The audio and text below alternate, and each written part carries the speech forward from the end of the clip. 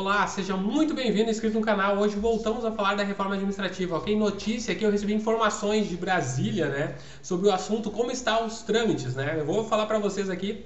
É, eu tenho a movimentação do pessoal que está lá lutando aí pela, por não passar essa PEC administrativa. Então nós temos pessoas lá que estão fazendo a sua parte. Então eu tenho o recado desse pessoal que sabe como estão os trâmites. Olha só, uh, nós temos a notícia tá? que está muito difícil para o governo conseguir o apoio para atingir os cerca de 340 votos que dariam segurança para o presidente Arthur Lira colocar o texto em votação. Veja, o governo quer 340 votos para colocar em votação, para ter segurança de que vai passar na Câmara. E não está conseguindo isso, ok? Além dos parlamentares das bancadas de oposição e dos que já tiraram posição da bancada pela rejeição do texto, que totalizam cerca de 150 parlamentares, há ainda dificuldade para o governo no interior das bancadas do PL, MDB e DEM, que normalmente oferecem alto grau de fidelidade a propostas governistas. Olha, inclusive aqueles que têm fidelidade às propostas do governo não está sendo não está conseguindo aí o apoio referente a essa reforma administrativa, tá? Recebemos as informações que o governo teria indicado, iniciado uma rodada de distribuição de emendas parlamentares, as chamadas RP9, em discussões que envolvem também a distribuição de relatorias de projetos estratégicos, todo esse esforço. Então, a politicagem, né? Ah, você vota aqui que eu vou te dar um projeto estratégico para você fazer a relatoria, esses conchavozinhos aí que tem para poder aprovar aí as emendas, as questões aí polêmicas, né? O governo está tentando fazer isso. Então, todo esse esforço é para colocar a proposta em votação até o dia 18 de outubro. É uma espécie de marco temporal firmado nos bastidores como data para resolver o andamento da reforma. Casualmente ou não, no dia 18 serão retomadas as atividades presenciais na Câmara. Um elemento colocado pelos aliados do governo como um complicador para a tramitação da PEC. Por que será que a votação presencial é um complicador para a PEC? Hein? Qual será a razão de tudo isso? Você sabe? Eu não sei. Olha, é estranho, né?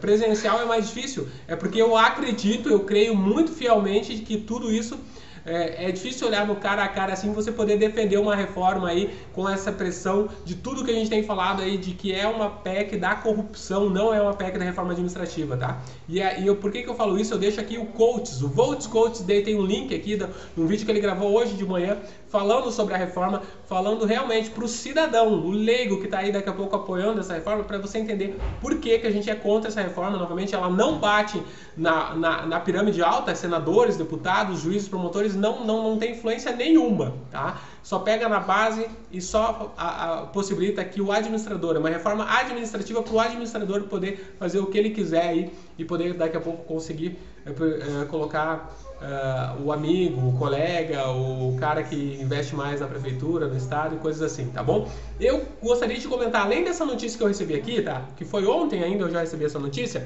Hoje já consta no Direção Concursos uma reportagem completa aqui falando que, olha, reforma administrativa, parlamentares descartam a votação em 2021. Então veja, já estamos chegando ao ponto de que 2021 não passa a reforma. Isso é o fruto de uma movimentação de todos. Eu acho que todos estão mandando para os seus deputados. Tem o link também aqui no vídeo, vai piorar, para você também pressionar. E isso é muito importante porque estão vendo que é a sociedade que está contra essa questão de serviço temporário, de privatização, não privatização, mas de colocar recursos humanos aí com um convênio, né, disfarçado de privatização, tá? E olha só, líderes da base do governo descartam a possibilidade do texto que trata a reforma administrativa ser votado em 2021. É o líder da base de governo, ou seja, eles fizeram todo um auê para passar na comissão de justiça, trocaram 8 ou 10 deputados para dizer não, vamos, vamos passar, né? E, e para conseguir votar plenário aí, o Arthur Lira queria, todo mundo queria, e olha, agora líderes da base do governo diz, olha, nós não temos condição de aprovar em 2021, né, porque não tem os 308 votos, então veja como está difícil, e veja como realmente uh, a mobilização toda a questão que está sendo levantada é coisas que se tem razão. Eu acho que a gente está abrindo os olhos daqueles deputados indecisos de que realmente não pode passar da forma como está passando. Então isso é muito importante. Está aí no Direção Concursos toda essa questão da reforma, né? Uh, a notícia e também no meu canal aqui e no canal do Volts Coach aí um vídeo muito esclarecedor. Eu deixo o link abaixo aqui para você.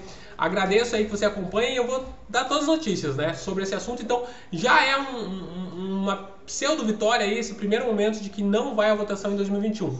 Novamente, eu não entendo que não tenha que passar a votação. Eu ficaria mais feliz se dissesse, olha, vai a votação, mas tiramos esses três, quatro pontos que são perigosos aí para uh, para o serviço público e vai ser aprovada a questão de avaliação, a questão de eficiência e outras questões aí de, de estágio probatório. Beleza, passa tranquilo. Eu acho que seria melhor. A minha posição, tá? Tem a posição do pessoal que acha que tem que arquivar. A minha posição, não sei se vocês concordam comigo, coloca nos comentários, é que essa reforma administrativa vai passar uma hora. Então, se ela não for agora plenário, né, eles vão querer voltar e daqui a pouco trazem o um monstro, desenterra um monstro maior, vai ficar um, um, um Godzilla. Daqui a pouco é um macaco vai virar um Godzilla, porque é assim, né? Hora que der para meter o pau, eles vão ressurgir e vão querer fazer alguma questão aí para poder melhorar a questão da administração não pública, do administrador poder fazer o que ele quiser, né? Ter liberdade política e fazer politicagem. Então, isso pode acontecer. Então, por isso que eu acho que é muito bom se a gente conseguisse tirar os artigos polêmicos e conseguir passar a reforma de uma forma aí que fosse bom, boa para a sociedade, novamente, tá?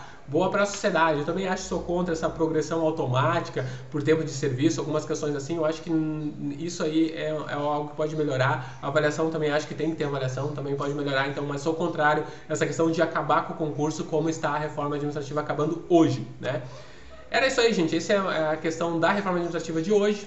Uh, Inscreva-se no canal se você não é inscrito para acompanhar a reforma, acompanhar tudo que eu tenho feito aí no trabalho sobre concursos públicos para você ficar sempre informado e bem informado sobre o mundo e o universo de concursos. Eu assisto e vejo tudo para você aí, estou ligado em todos os jornais de concurso público para trazer notícia em cima da hora para você, ok? grande abraço, Deus no controle sempre.